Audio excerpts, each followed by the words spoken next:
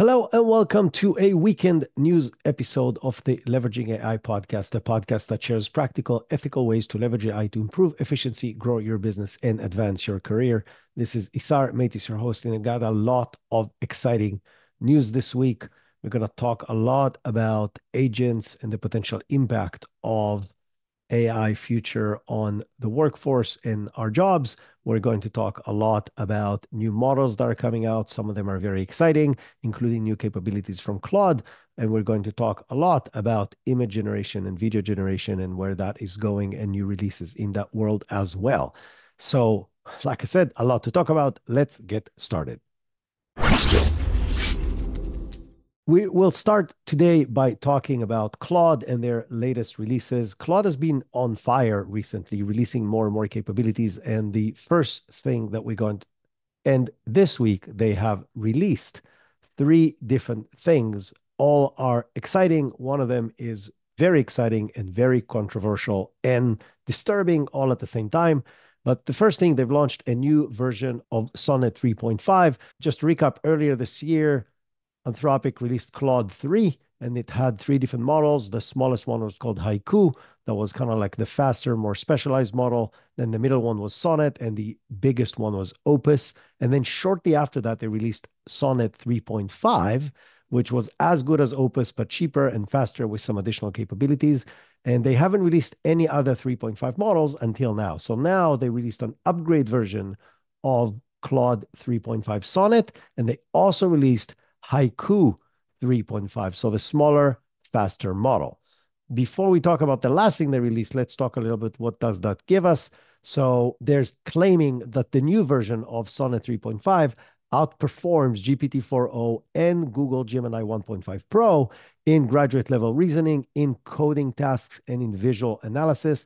The interesting thing about coding tasks is they were ahead in coding tasks before, and now per them, they have extended their lead in coding capabilities. The other interesting thing is Haiku, the smaller, faster model that is three times faster than the smaller models from the other companies, also outperforms GPT-4o Mini and Gemini 1.5 Flash, and it also maintains the performance in coding of Sonnet 3.5. So it's a very capable model that runs faster and specialized in coding tasks. But the most interesting thing that they've released is a feature or actually a separate capability that they're calling computer use. And what computer use allows you to do, as the name hints, is to use your computer. So you can install it locally on your computer. And the way it works, it actually looks at your screen, takes screenshots of what's happening, can understand what software you're working on, and can operate your computer. So basically, it has access to the cursor, so placing quote unquote the mouse anything it wants and typing anything, which basically means it can do anything you can do on your computer. It can browse the web, it can open and close apps, it can copy things from one place to the other, and so on and so forth. Basically, giving it access to, as I mentioned, any digital thing that we as humans have access to if you think about the evolution that we've been talking about of agents, and we talked about the fact that one of the things agents will need is access to tools, this provides access to any tool that we have access to because it has access to our computer. Anthropic themselves has released several different examples of use cases.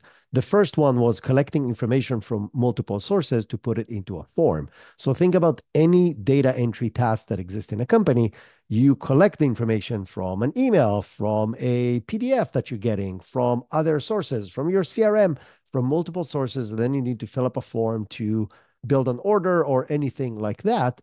That was the first thing that Anthropic demoed, where it goes to look for information in one source. It doesn't find it in that source. It opens the CRM on its own, finds the relevant company, finds the relevant information, and copies it into the form accurately.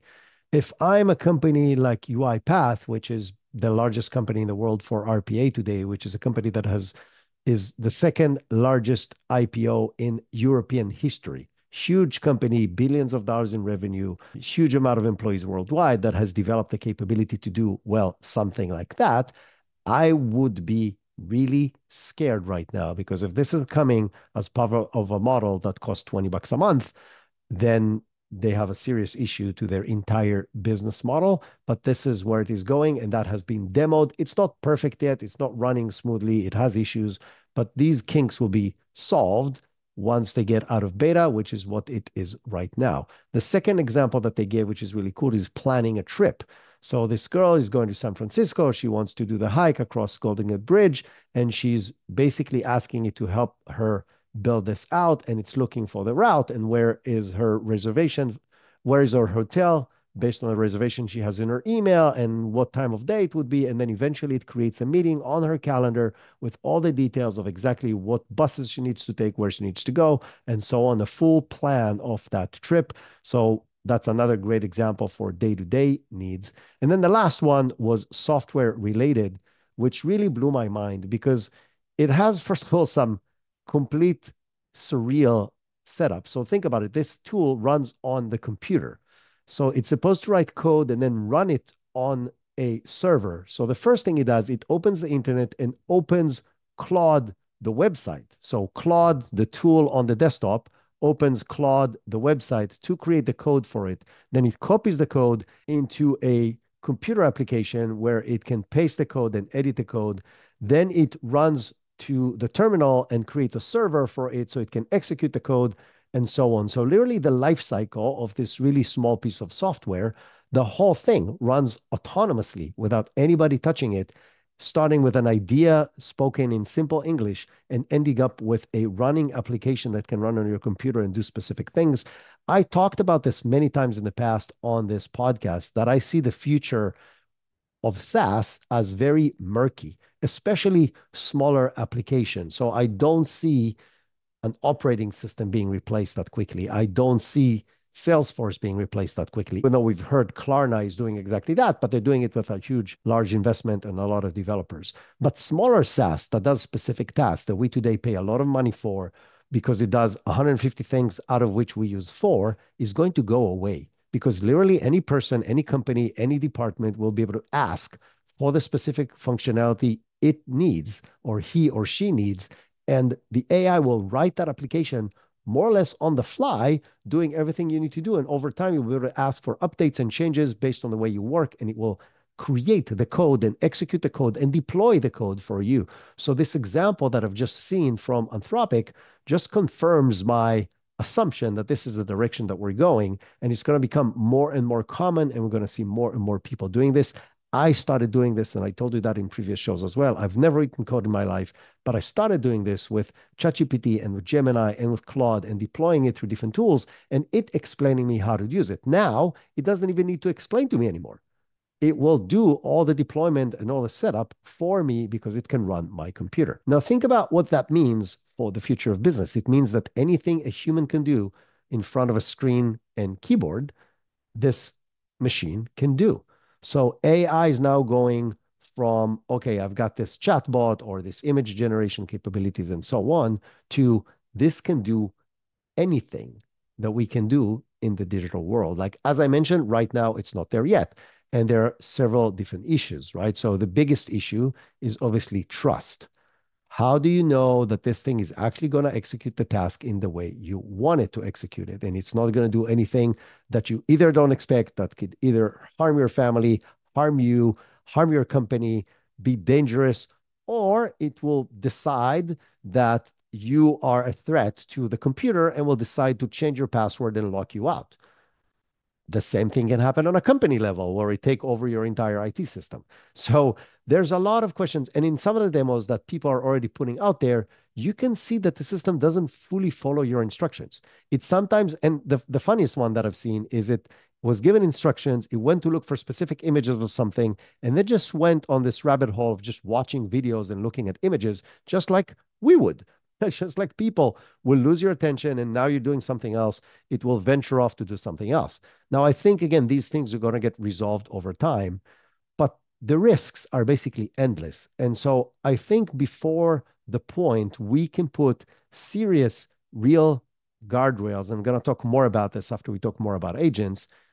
This thing is a big problem, but it's already here the technology in its raw form is already here. It's already available. And there were several companies before releasing these kind of tools. But now that it's, available through Anthropic, which is one of the main largest used AI tools that cost 20 bucks a month to get access to it. And this may cost more later on when they get out of beta, but the options, both good and bad, are basically limitless. Now, staying on the same topic of agents and what they can do, a company called Crew AI, which is a relatively new startup, but uh, that is making really big waves in the agent world, just secured an $18 million in funding. And I know that doesn't sound impressive with all the AI world where people are raising billions, but it's still their er, initial funding, and it's very impressive. And Crew AI, per them, now being used by nearly half of Fortune 500 companies to create and execute over 10 million agents every single month. Now, that's a very impressive number for a relatively young company, which is showing you how big the agent opportunity really is. The agent world is supposed to be $5 billion in 2024 and $50 billion by 2030. I actually think these numbers are low, and I think they're going to be higher than that based on being able to replace basically any person in front of a computer. Now, the recent data and research shows that only 10% of large enterprises currently are using AI agents, but 82% are planning to adopt agent technology within the next two to three years. So that kind of tells you where this is going.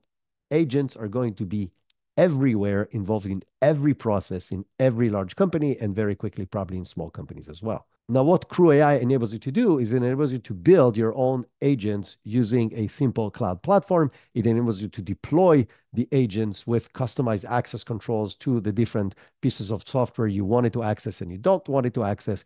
It enables you as a company to track the ROI through what it is replacing, how quickly is it working, and how much it actually costs. So you can actually see your cost savings as you're using it. And it has, as I mentioned, endless number of real-world applications like internal process automation, lead generation, lead nurturing, code writing, code updates, testing, content creation, legal analysis, literally anything we can do on a computer, these tools will be able to do. Staying on the same topic, a company called Celonis has launched what they call Agent-C, which is a suite of tools that combines AI agents with process intelligence. When the goal here is obviously not just to be able to build the agents, but to actually analyze specific processes, understand how they work, understand what are the pros and cons of the way they're done right now, how they can be improved from an efficiency perspective, and then autonomously create an agent that will perform that task. Now, process mining software that can capture specific business processes and analyze them has grew 40% year-over-year in 2023, and 90% of corporates are saying that they're planning to increase their process intelligence investments in the next few years. Again, combine that with the capability to use that process analysis to create agent that will replace the process either partially or completely tells you how powerful this is. Now, Agent-C integrates into multiple existing tools that companies are using. So it can integrate with Microsoft Copilot Studio and IBM Watson and Amazon Bedrock and CrewAI and many other platforms. So again, you can take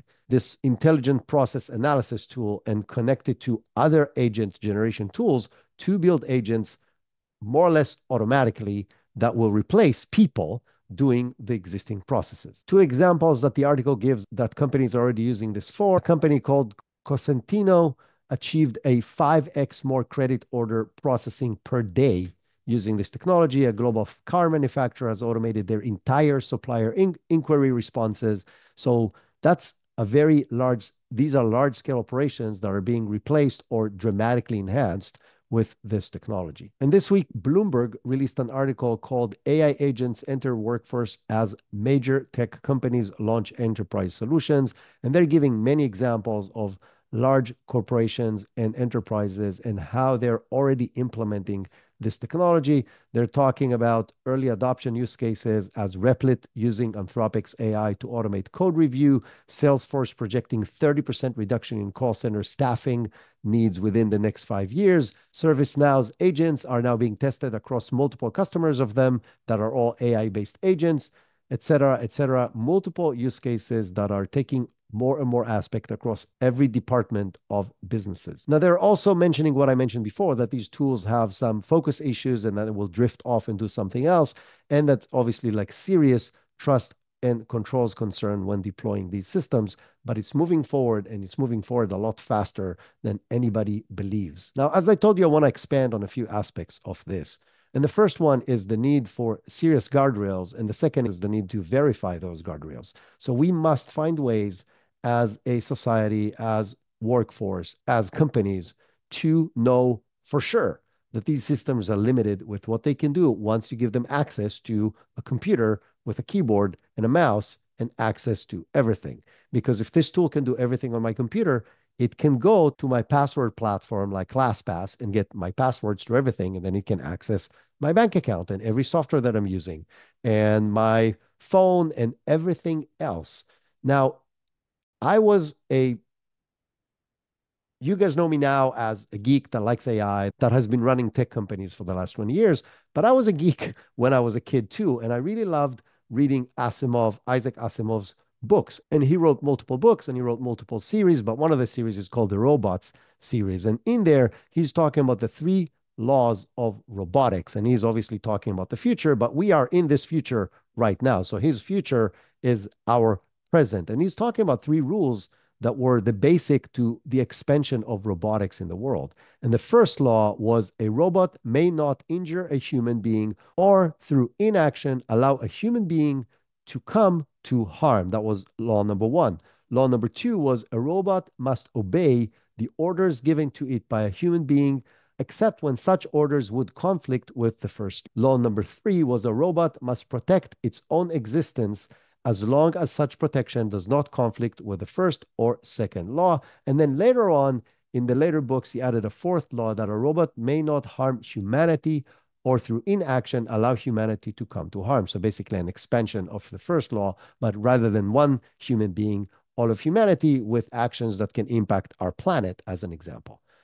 I think we're getting to the point that this is what we need. We need some kind of prime directives that these AI systems cannot break in order to protect us, in order to protect the job force, in order to protect society, in order to protect our planet. There's a lot of ways that this can go wrong. And we're going to talk a little more about this thing when we talk about the interview with Demis Hassabis that happened this week on where this is going and how badly this can go wrong before us paying attention.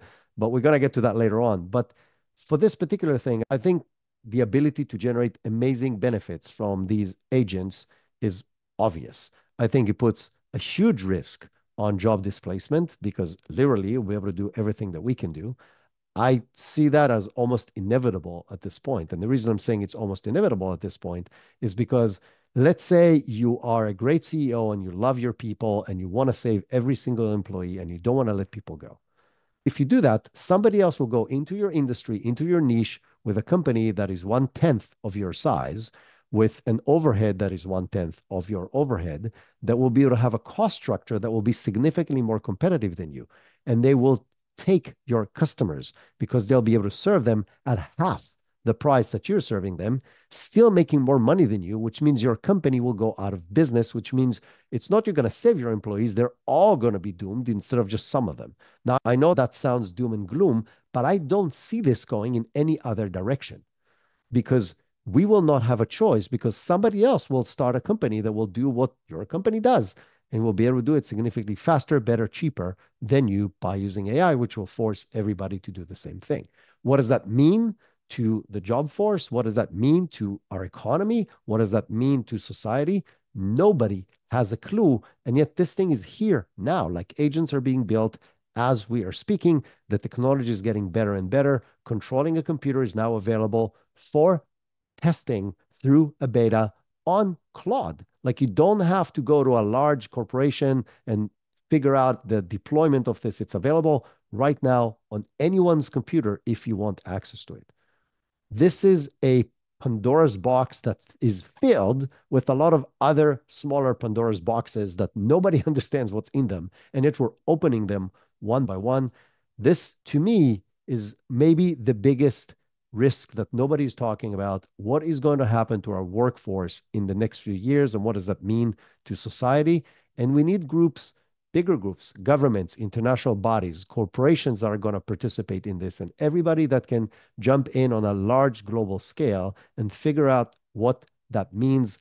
I don't have solutions, whether global basic income or global more income, like whatever the solution is, but we will need a solution and we need to start working on this very, very fast because developing these kind of solutions takes a few years and we don't have these years already. Like even if there's no new advancements in these models, the capabilities that exist right now puts us at a very serious risk in my personal belief. Now, continuing on the same topic, the Brookings Institute, which is a nonprofit organization from DC, that their mission is to conduct, and I'm now I'm quoting, in-depth nonpartisan research to improve policy and government at local, national, and global levels. So they're a large, respectable organization that looks into policies and so on. And they just released a report that is stating that more than 30% of US workers could see at least 50% of their job tasks disrupted by current generative AI capabilities,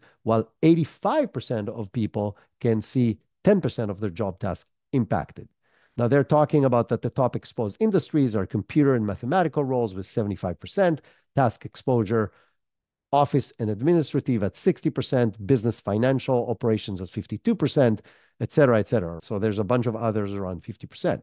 The other interesting thing that they're saying is that the immediate future, there's a big gender impact because the immediate future, they're seeing a lot more administrative tasks being replaced, and most of those are held by female workers. So they're saying that right now, from a gender perspective, 36% of female workers and only 25% of male workers are at high risk. I think as this move forward, it is gender agnostic because it's going to replace almost every task we do in front of a computer. Now, while these numbers are scary because they're talking about, you know, 70%, 60%, and so on on specific categories, and in some of them 85%, the really scary thing is that this research is based on a paper released by OpenAI that is called GPTs or GPTs, Labor Market Impact Potential of LLMs, that is based on GPT-4 technology, which is a year old. It does not take into account GPT-4o, Gemini 1.5 Pro, not to mention Strawberry Project or GPT-o1, which now can think and do more complex stuff, not to mention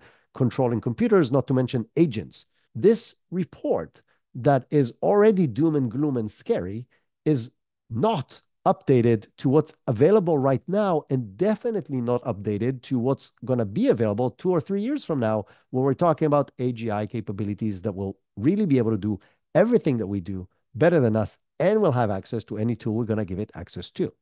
Now, I'm not telling you this to scare you. I'm just telling you this so you're more knowledgeable in what I think is happening. And I assume this is happening because I'm looking at what all the big companies are doing to develop these kind of capabilities. So billion of billions of dollars are going towards developing what I just said, and nobody is really doing anything about this other than competing and trying to get these to get us there faster. It's just like a train that's going faster and faster to a gorge when maybe there's a bridge, but maybe there isn't. That's kind of how I feel about the situation. And the reason I'm sharing this with you is I want you to share this with everybody. So maybe this gets to the right people and some bigger people start taking action in order to secure our future or at least make it safer than it seems right now. Now, after all of this big news, let's start talking about very specific news to specific companies. A week cannot go by, obviously, without us talking about OpenAI. So there's a very fierce battle between OpenAI and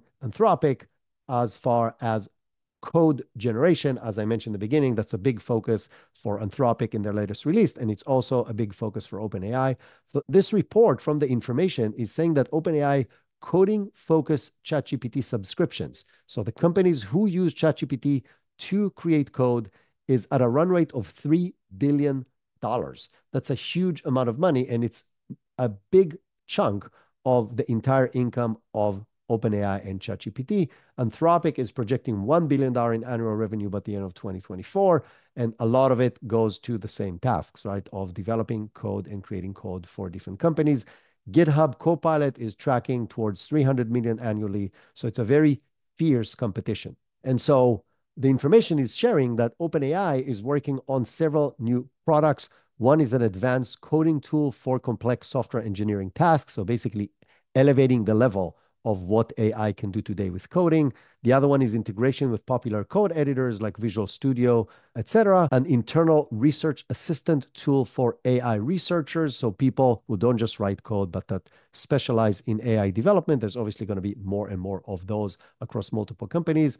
And computer using agent capabilities, similar to what Claude just released as beta. So all these things, now the information has been very consistent in releasing accurate information from inside sources. So usually when they're saying something, it's based on real facts and it's not just a rumor. So it's very obvious and it makes sense that OpenAI is working on these things. Now, once they release those, and they may not be released all at once, but they could be released one by one or even in different stages, they're obviously fighting other people than Anthropic. They're also going after GitHub Copilot, as I mentioned, and Cursor, which is one of the most favorite new development platforms that a lot of people have moved to in this AI development era. The interesting thing is Cursor got an investment from OpenAI, and now they're going to release a tool that's going to compete with that. But that we've seen that across this industry time and time again. Now, the more interesting rumor about OpenAI is that according to The Verge,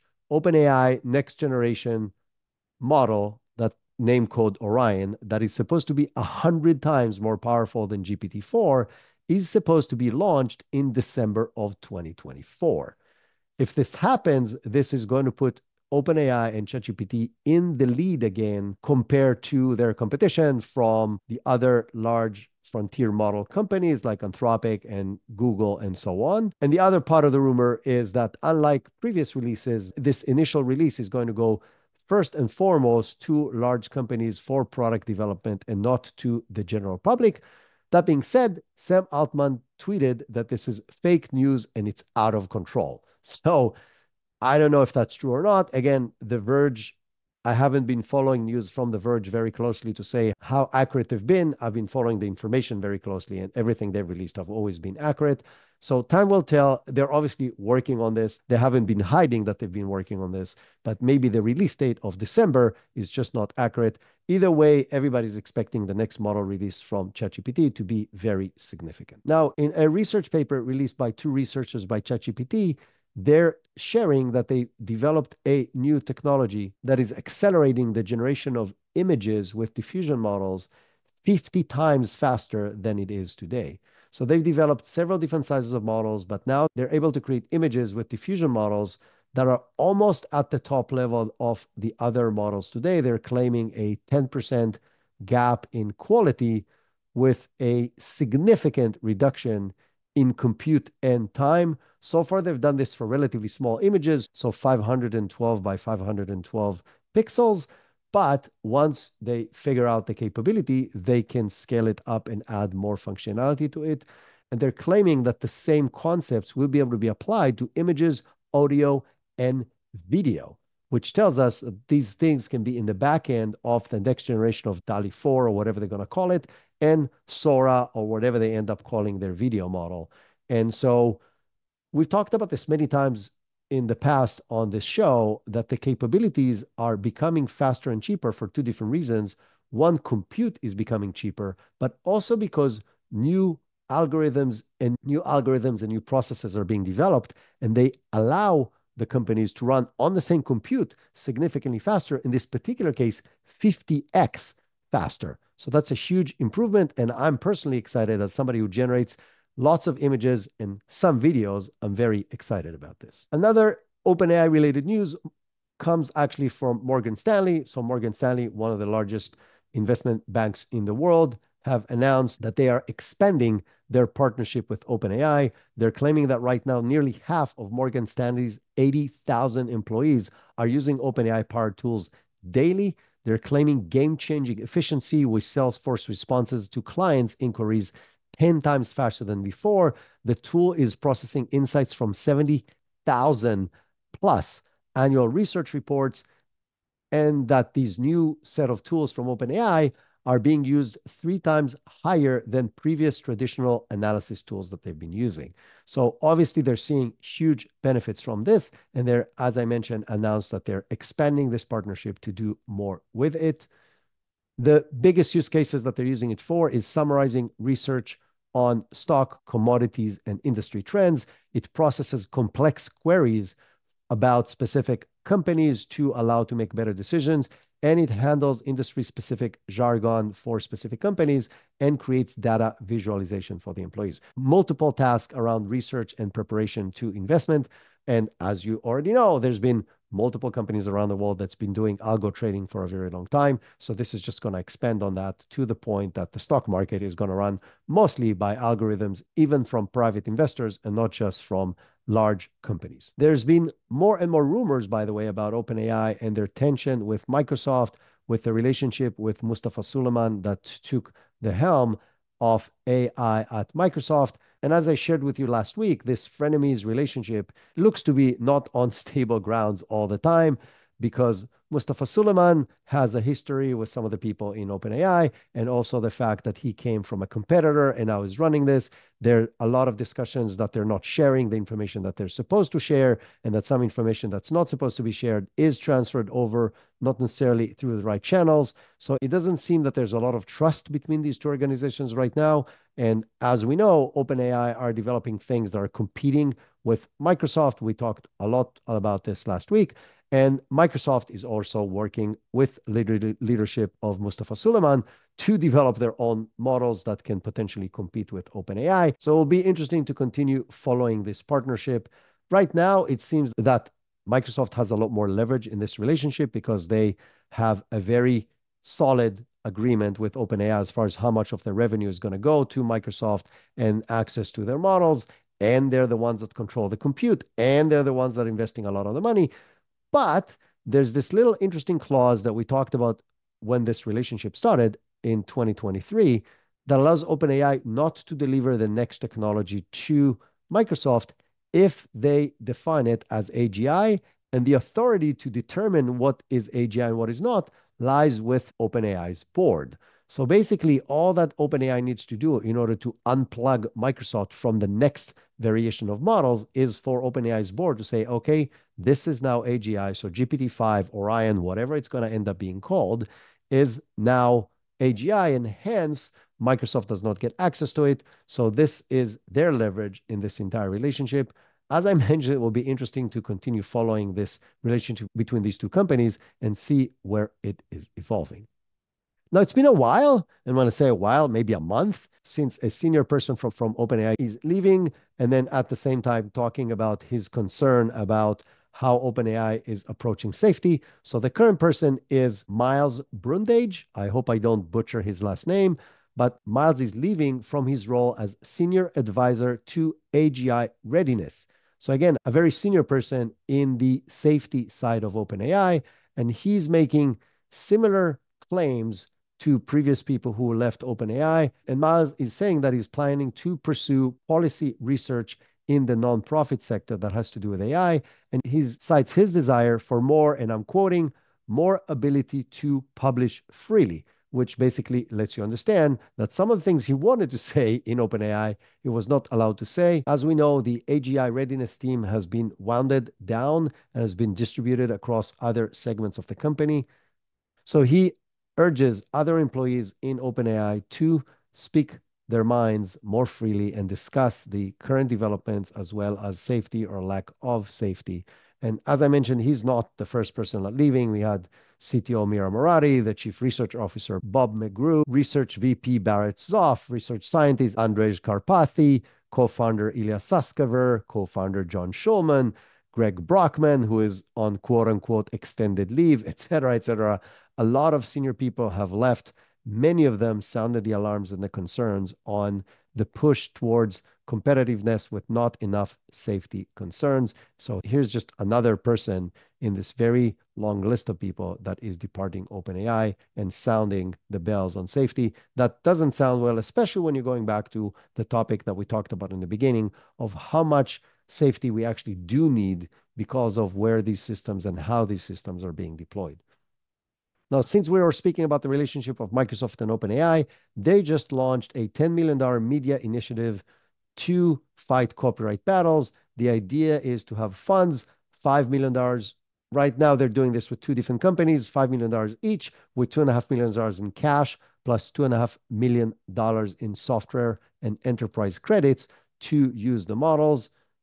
And they already have initial recipients that are going to go after these funds. So consider this a fund that will help companies, A, adopt AI, and B, paid for their news outlets. Some of the companies that were mentioned were Newsday and the Chicago Public Media, the Seattle Times, and a few other organizations.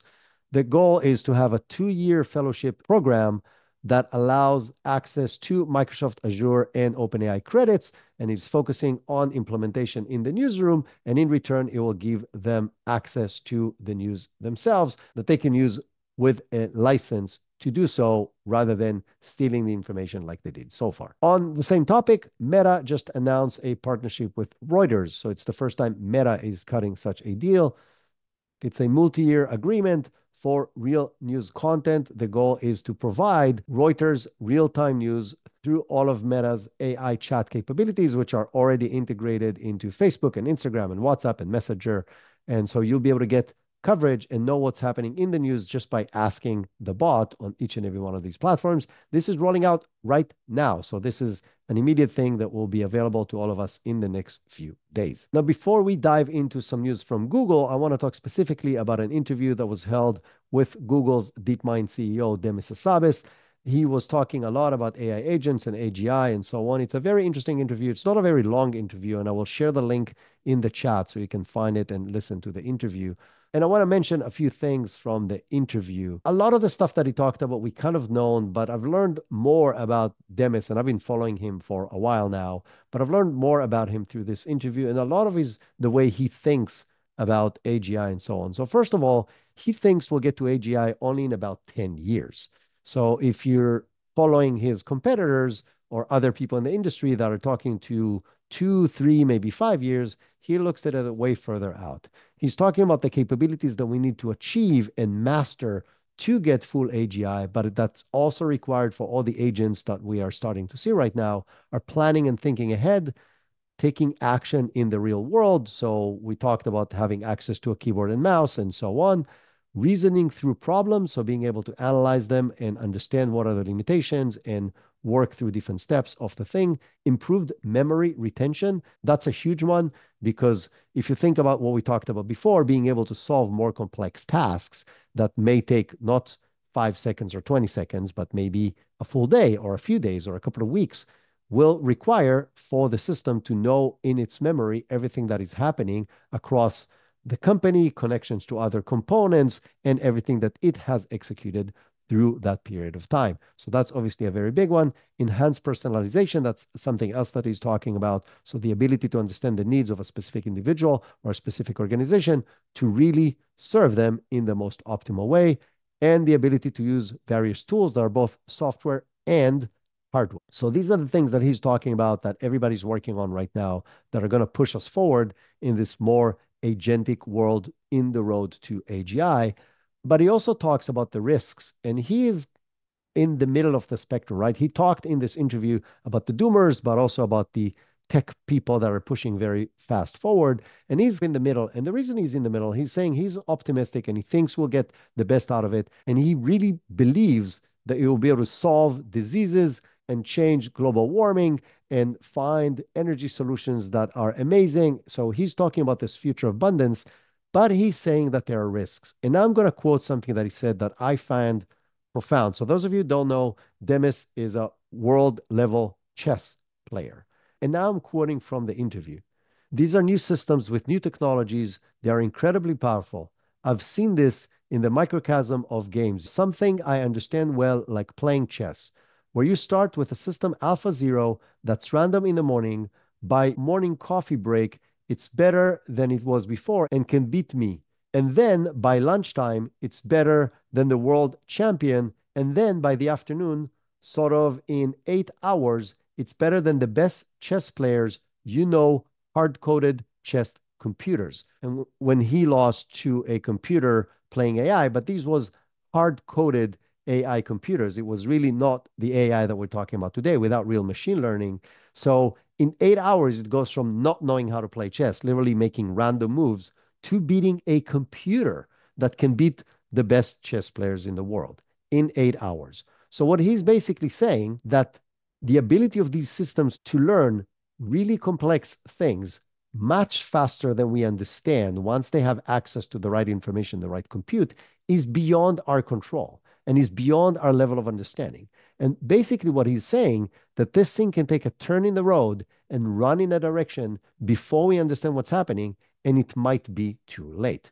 Going back to my whole point about we have to figure out how, if it's even possible, to put real guardrails on the system and having safe mechanisms like a fail switch that we can actually click to turn this thing off.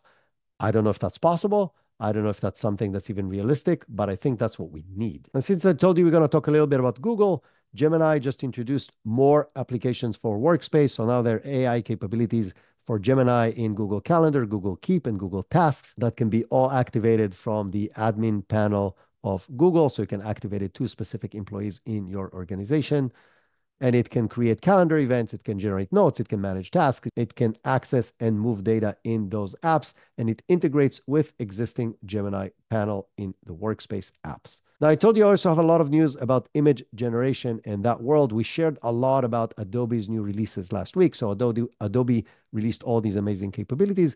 And this week, Midjourney launches an AI image editor that basically allows you to take real images, actual photos that you took, and edit them with Midjourney. Look at the demos online. It's absolutely mind blowing. You can do really cool things, and it allows users to modify an existing images and transform them in their style. You can highlight specific segments in the picture and then change just those segments for different colors, different patterns, different textures, and so on. Now you can even take doodle art, something you scribbled, and turn it into an actual photorealistic image or any other kind of image you want, like cartoonish, whatever it is that you want. So very powerful capabilities, including retexture feature that allows to convert things from one style to the other, either for the full image or for part of the image and so on. And it's becoming very, very good at following the prompts and the user guidance on exactly what it needs to do. Now, the problem with it right now is that it's only accessible to users who have generated 10,000 images or more have an annual paid membership and have been subscribed paying users for at least a year. So it's not accessible to most, but just like they did with the previous releases, this will change in a few weeks or in the previous time it was a few months, but eventually we're all going to get access to this. The reason I find this interesting is I think what we're going to see, and I'm going to combine the news from Adobe from last week to the news about Midjourney, and we're going to talk about Canva in a minute as well, is that the lines between AI image generation to image editing are going to keep on blurring. I think the tools that were traditionally, let's create an AI image with, like Midjourney and Flux One and, and Ideogram and so on, are going to go more and more into tools that will allow you to control and change and edit images, whether created by AI or not. And we're going to see the tools like Adobe and Canva and so on move more and more into the AI image generation capabilities, and the lines are going to be blurring more and more and more. Now, I don't see any large organization that are using Photoshop right now ditching Photoshop to start using Midjourney, but I definitely see smaller companies, beginners, and people like me who do not really know how to use Photoshop and never had the time to learn starting to use these kind of tools because they're just a lot easier to use and they will give you good enough results across multiple things. And I think two years down the road, it will be very hard to distinguish between the two kinds of tools. Now, Midjourney is also continuing with their plans that they've announced before to release 3D capabilities as well as video capabilities sometime in the future. And staying on the same topic of image generation combined with tools, a few weeks ago, I shared with you that Leonardo.ai was acquired by Canva. So this week, Canva has released what they call Dreamlab, which is a new entire suite of AI capabilities built into Canva on top of Leonardo's Phoenix model. It allows for really advanced graphic generation with specific styles, allows it to do improved multi-subject image creation and a lot of other capabilities that are built straight into Canva. You will be able to also create text in a much better way. So AI text, which has been a problem until recently. So I've been using ideogram every time I needed to create text, but apparently now you can do this built into Canva. So more and more AI capabilities, creation, editing, and so on are coming into Canva itself, which as a Canva user, I'm very excited about, but it goes back to prove the point that I said before. The lines are going to be very blurry between content creation tools, image editing tools, and image generation tools, and video generation tools that are now available in Canva using Kling in the backend. So all of these tools are built into Canva, and you can create a lot more without ever leaving the platform. Is Stability AI just launched Stable Diffusion 3.5, which is a major improvement over Stable Diffusion 3. It released three different models, a large one with 8 billion parameters, a mid one, a large turbo with 8 billion parameters that runs faster, and a medium one with 2.6 billion parameters. And this model achieves enhanced realism and superior prompt adherence and improved text generation and a lot of other better capabilities.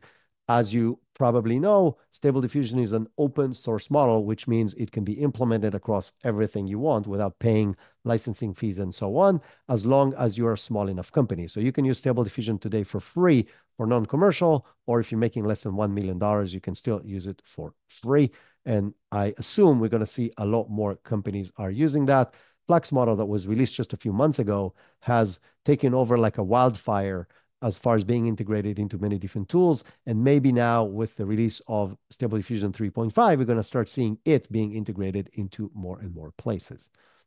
They're claiming, by the way, that their capabilities are matching or exceeding Flux 1.1 Pro, which is right now the most advanced open source model out there. And I must claim, as somebody who's using it regularly, that is as good as Midjourney on most things. And again, it's free to use. Staying in the open source world, a company called Genmo has released Mochi 1, which is they're claiming to be the best open source AI video generation tool.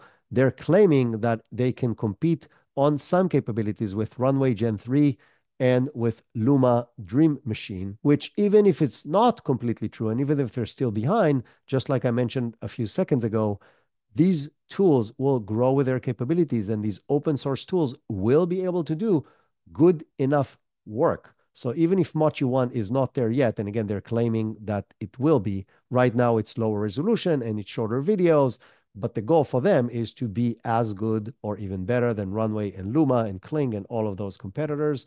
And they're focusing right now on just photorealistic content, so not cartoonish stuff like a lot of people are doing, but as I mentioned, over time, I'm sure they will develop more and more of that, and it will be open source and will be free and accessible to integrate with everything else. So that's the direction this thing is going, which connects back to the point that I mentioned several times before. I'm going to talk a little more later on when I talk about Andreessen Horowitz on where is the financial model for the paid models right now, which I'm not 100% sure about.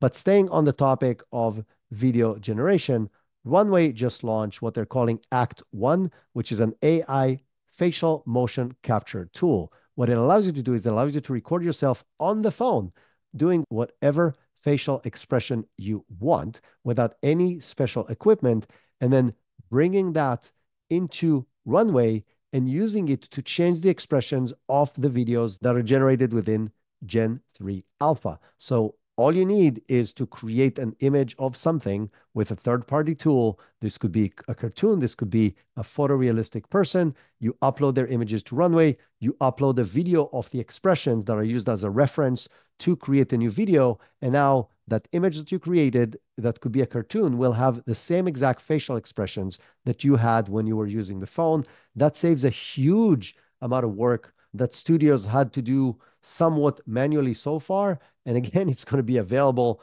on a platform that costs a few dozens of dollars a month, depending on how many credits you want to actually use. This is absolutely magical and it's going to dramatically simplify and democratize the generation of high quality video, including people and their face expressions. And it doesn't even have to be people because you can use those face expressions and then apply them to a cat or a legendary magical creature that you will create the image of using a tool like Midjourney. And from image generation, let's talk a little about Perplexity. So Perplexity, we talked about them many times before.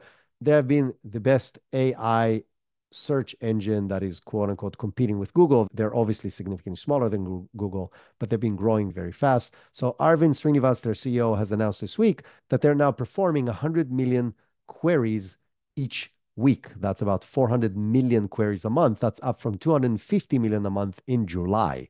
So this is one and a half times bigger in just a few months, which is telling you how fast they're growing. But they're also adding more and more capabilities that are turning them to a lot more than just an old school search engine. So right now, they've added real-time stock quotes, including the access to historical earnings data and visualizations and industry peer comparisons that has to do with stocks and company financial analysis, all powered by financial modeling prep, FMP data. They're bringing more and more specific data that is not just general internet data in order to allow people to do a lot more. They've also announced new partnerships with Crunchbase that will provide private company data access, FactSet, which is a structured, unstructured financial data, and they're making this available for now for Enterprise Pro users, but I assume this will come to everybody in the near future. Now, it's still not competitive and solid and as robust as existing financial research platforms, but the direction is very clear. And this is another place where the lines are going to get blurry between traditional tools like Bloomberg to this new age of AI-driven tools that will have access to similar data and will be able to do stuff that previously only companies like Bloomberg and Morningstar were able to do, and now will be accessible to hopefully all of us through tools like Perplexity. Now, speaking about Perplexity, Dow Jones and New York Post is suing Perplexity for massive illegal copying of publishers' content. And that's a quote from the lawsuit that they filed just on October 21st. This is not the first time an AI company is being sued by different people who publish content. We've seen similar lawsuits from the New York Times suing OpenAI and Microsoft, and a lot of other news outlets suing other platforms. So this is not new. And as we've seen before, it leads to more and more licensing deals like the ones we talked about earlier. And I want to jump to a slightly different topic. I said several times before on this podcast, actually many times, that I don't see the business model future of these models. And the reason I said that is because models are becoming cheaper and cheaper with every cycle, and you have better and better open source models that may not be the best in the world, but might be good enough for most of the tasks that we need. And they will definitely be good enough sometime in the next two to three years. And then where does that put the money that needs to come in and pay for these for the development of these models? Well, this week, Marc Andreessen from Andreessen Horowitz, one of the biggest and most respectable VCs in the world, said the same things. He's basically saying that AI models are becoming commoditized, where he compared it to selling rice. He's claiming that this is a race to the bottom, which is exactly what I've been saying for a very long time.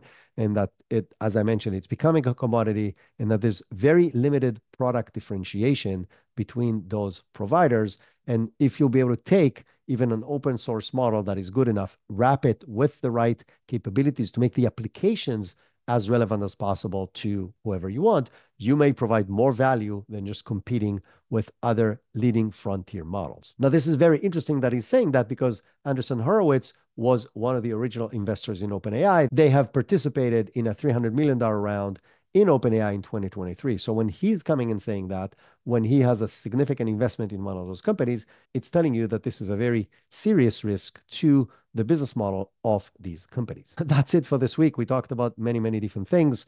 We're going to be back on Tuesday with another fascinating deep dive into a how to with AI, something that you can start implementing in your business immediately in order to get higher efficiencies and higher ROI in your business.